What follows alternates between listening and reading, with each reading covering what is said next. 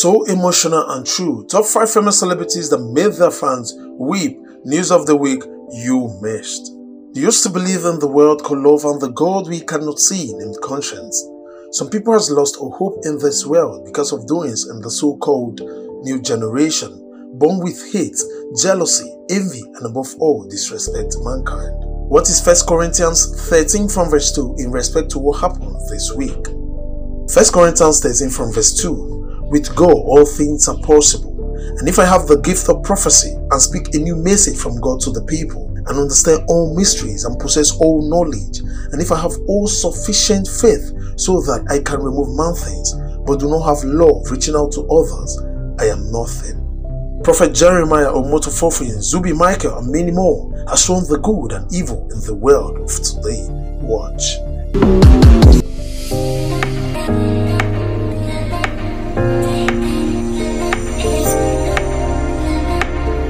One Sylvester Oromoni dies of acid ingestion. The death of Sylvester Oromoni Jr. in the Lekki area of Lagos State became public knowledge after a family member identified as Perry posted about the incident on Twitter. Using his Twitter handle, Perryson Oromoni, he claimed that before his cousin died, he identified five pupils whom forcefully gave him acid to drink because he refused to be a member of well-known confraternity in the school. He wrote, and I quote, This is Sylvester Oromoni, my 12 years old cousin that was beaten to death at a boarding school in Lagos that cost over 1 million. They called my uncle that he wasn't well, so he went there, took him and admitted him to a hospital in Warri.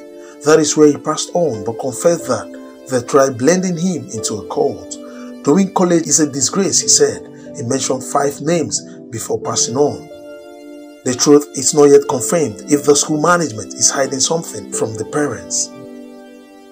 2. Clem Ohameze weeps as Prophet Jeremiah Fufeyin gives him 8 million for surgery.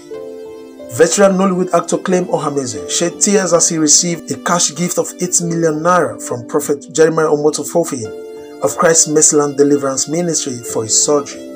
This is coming after Clem Ohameze called on Nigerians to pray for him as he prepares to undergo surgery. In a video, the actor said his health challenges started after he had a car accident some time ago.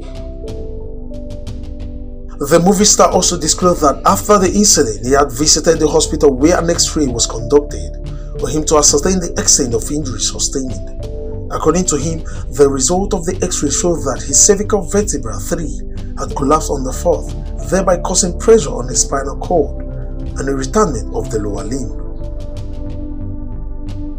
Ohameze said he was treated for a while and he got better. He, however, said he noticed that he started having difficulty walking later. This leads to the second scan. He was told that he would have to undergo a procedural surgery to separate the cervical vertebra 3 from 4 to free the spinal cord permanently.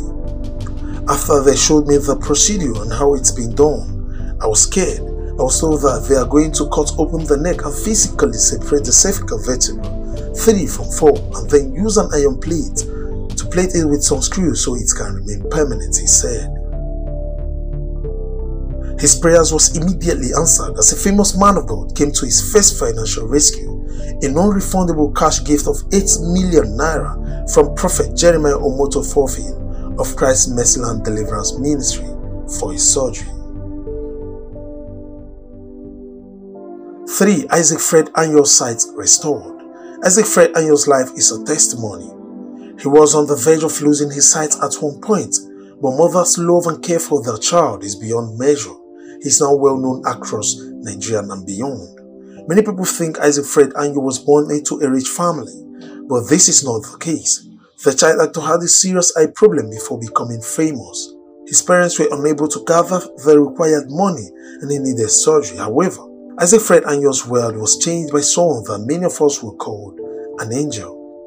Several years ago, when Zubby Michael was working on a movie set, a woman approached him with her son and begged for donations because her son needed surgery for a night problem. Zubby Michael was moved by the way the ladies offered herself to get the money for the boy's surgery. Today, the boy he ended up saving from blindness years back is making headlines in Nollywood, of which he is indeed proud of. Thanks to Zubby Michael's generosity, Isaac is now a celebrity. Perhaps no one would have known about Isaac if Zubby Michael had done nothing to help his mom when she pleaded for assistance. Isaac will be forever thankful to Zubby Michael, who he considered an uncle, dad, and a father in the world.